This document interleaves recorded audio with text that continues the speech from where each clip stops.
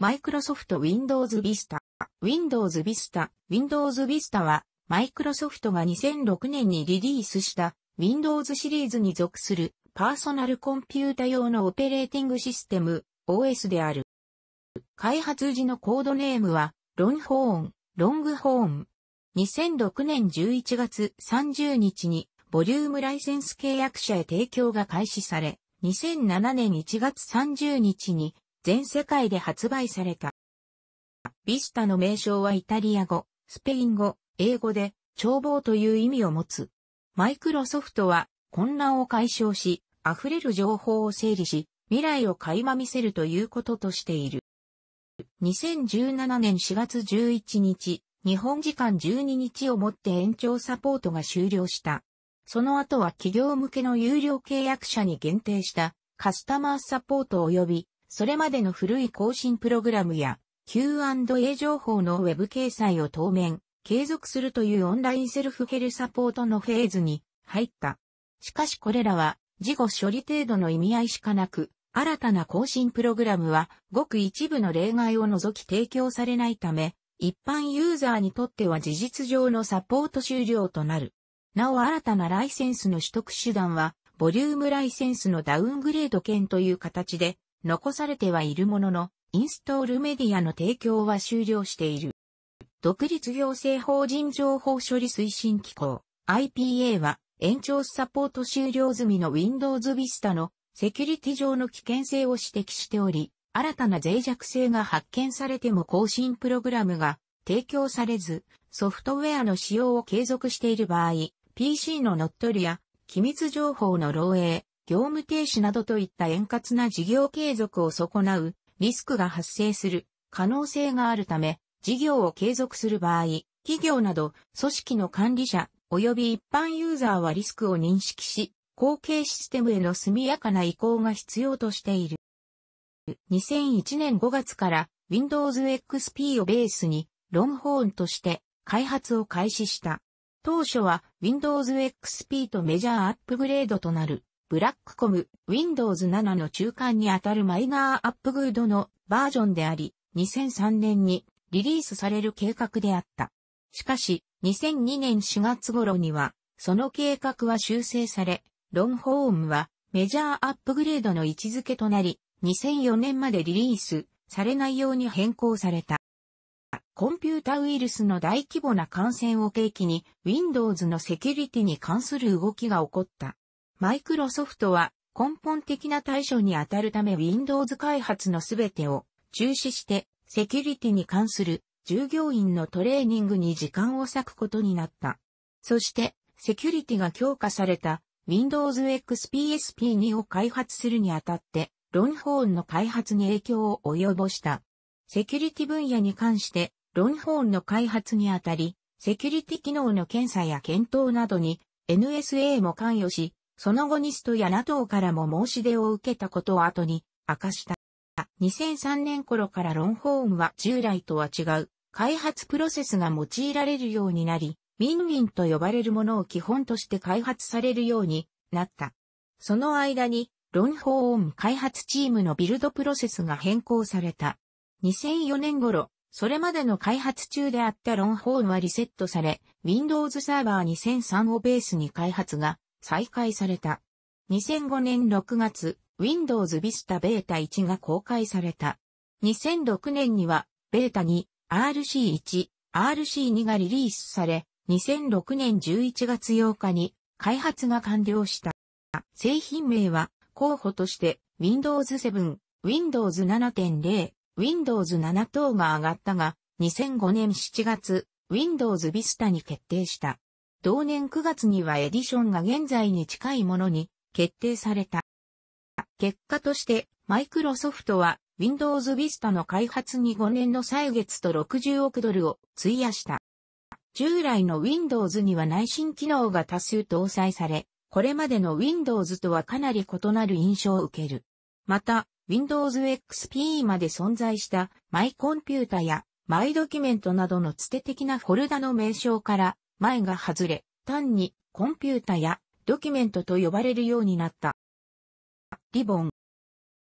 Windows Search、Windows Vista のエディションは、基本的に、スタータ、ホームベーシック、ホームプレミアム、ビジネス、エンタープライズ、ウルティメイトの6つのエディションがあり、さらに市場によってはその地域の法律に従い一部機能に変更を加えた製品も提供された。また、Windows Vista のステッカーは各エディションで異なる。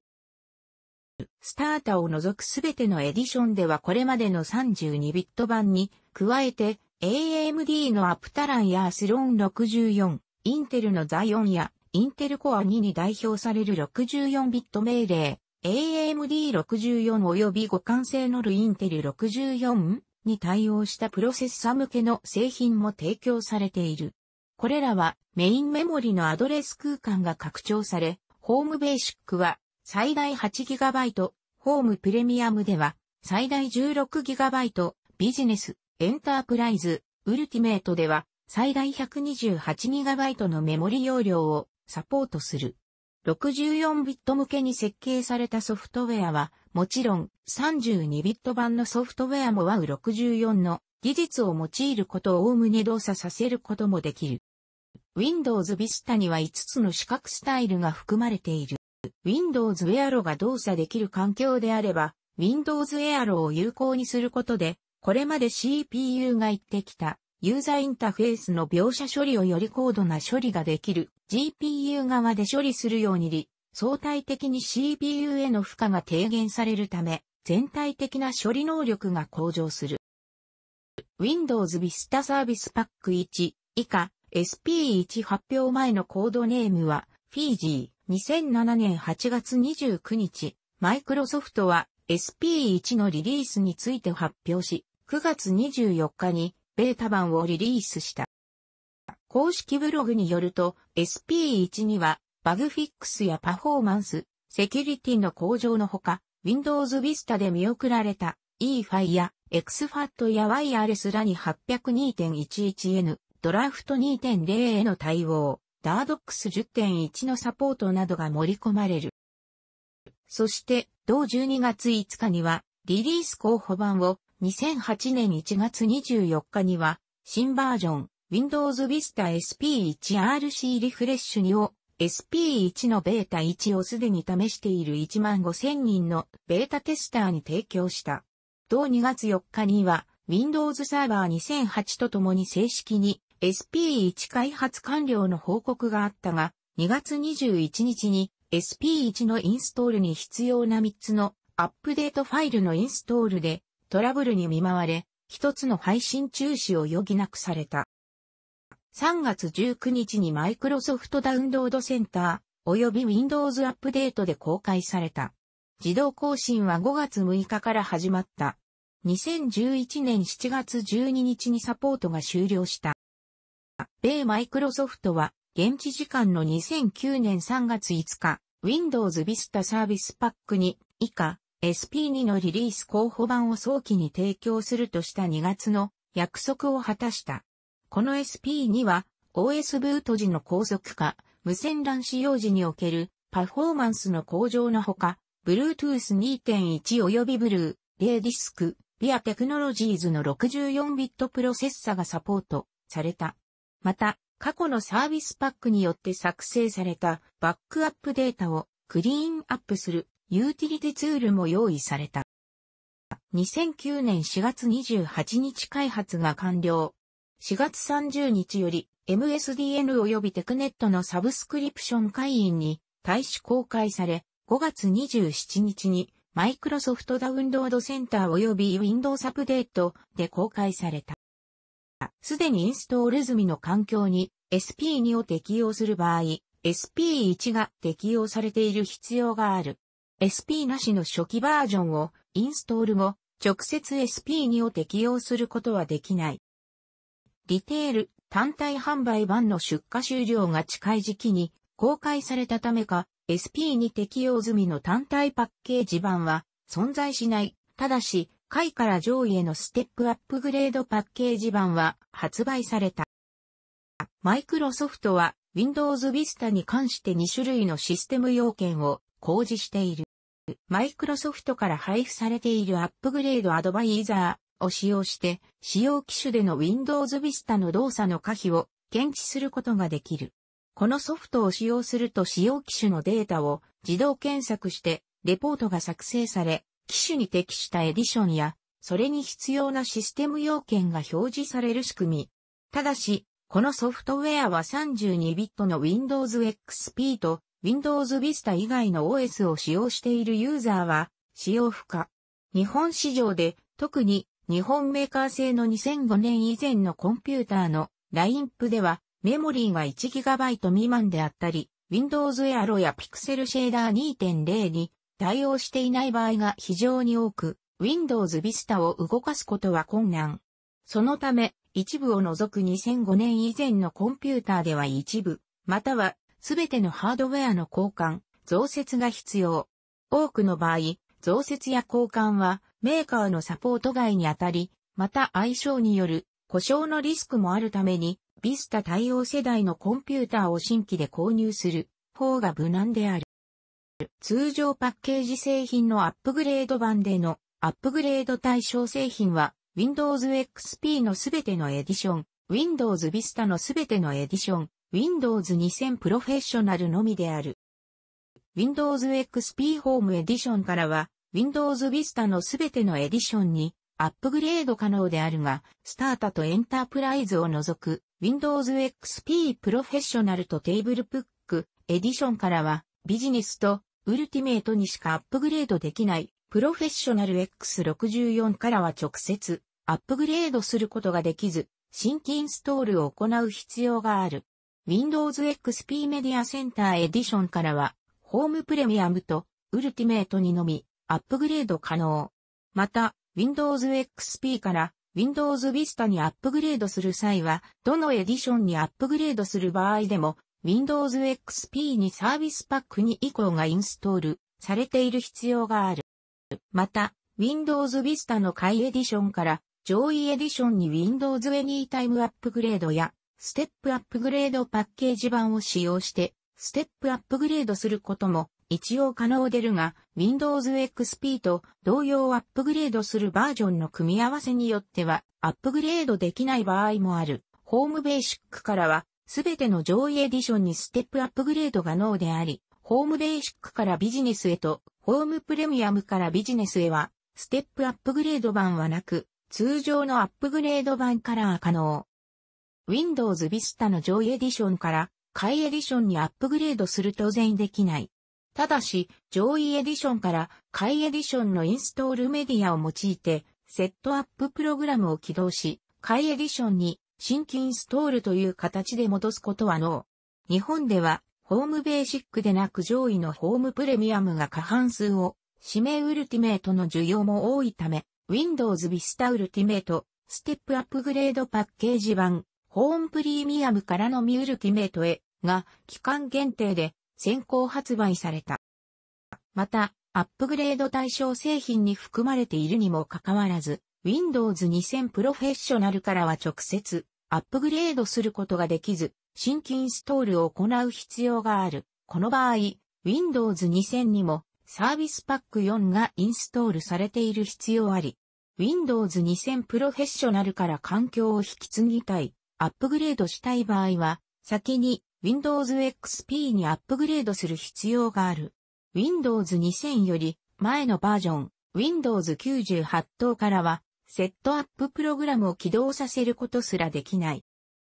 余談ではあるが、サービスパック4が適用された Windows 2000サーバー及び Windows 2000アドバンストサーバーからでも Windows Vista のセットアッププログラムを起動させ、新規インストールを開始することはできるが、プロフェッショナル以外の Windows 2000はパッケージに記載されているアップグレード対象製品になっていないため、アップグレード版の Windows Vista のインストールメディアを使い、これらのバージョンから新規インストールすると、マイクロソフトの使用許諾契約書の条項に違反することになる。なお、Windows XP までとは異なり一度アップグレードすると、通常の方法、コントロールパネルを利用した方法では、旧バージョンに戻すこと、アンインストールはできないが、アップグレード中に作成される元の Windows の情報が格納されているフォルダ、Windows、オールドが削除されずに残っている場合、コマンドプロンプトを使った特殊な方法で Windows Vista をアンインストールして旧バージョンに戻すことができる場合がある。しかし、若干複雑な手順を踏まなければならない。同じ方法を利用して後続の Windows 7もアンインストールできる。その他アカデミックアップグレードやボリュームライセンス版のクライアント OS は基本的にアップグレード版のみの提供となっている。アップグレード対象も異なる場合があるが、Windows XP 以外はいずれも新規インストールに限られる。なおクライアント OS のボリュームライセンスは最新 OS へのアップグレード券のみが販売れているため、Windows 7登場後に Windows Vista のボリュームライセンスを使用するには Windows 7のダウングレード券を使う形になる。